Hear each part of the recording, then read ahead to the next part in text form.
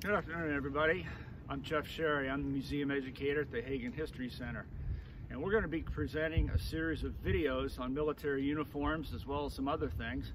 And I've enlisted the help of my son, who's going to come and be our model today. Corporal.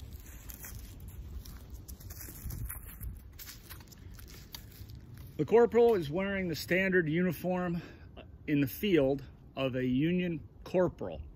The start from the top, his 1858 model forage cap, which with the leather visor you can see provides very little protection from the elements.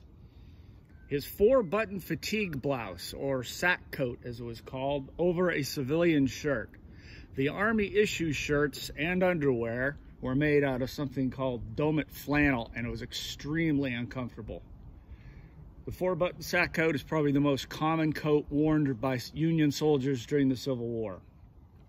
The chevrons are that of a corporal, and they're in sky blue, which designates his branch. He is in the infantry, a foot soldier.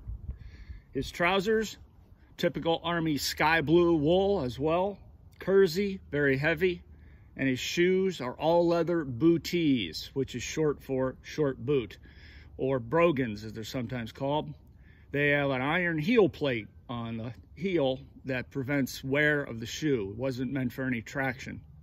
Now he's carrying one of the deadliest weapons in American history, the 1850, 61, excuse me, Springfield rifled musket. He can fire three aimed rounds a minute, but it is a muzzle loader, which is really slow by today's standards. He also has, in, right there by his belt plate, his bayonet. His triangular bayonet can be affixed to the end of the musket and it can be used for charging enemy positions. And while the bayonet was used in some Civil War battlefields, its psychological effect was more prevalent than anything. On his left hip, he has his painted canvas haversack and his tin cup. In that cup, which you can see is all blackened, he can boil his coffee, heat up his rations, whatever he might do. Just above the haversack is his wool-covered one-quart tin canteen.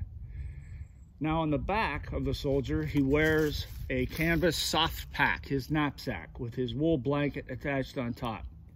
In his knapsack, the soldier carries everything that he thinks he will need on campaign. Early soldiers would carry everything the Army issued, and these, of course, ended up by the side of the road very quickly. This soldier is a veteran, so he only has a few pair of socks, a towel, an extra shirt, maybe a spare pair of underwear in there.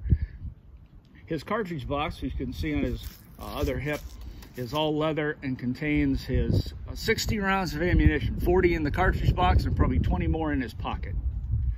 Well, that more or less concludes our talk about our Civil War infantrymen today. Thank you for joining us and keep your eye posted for more videos like this.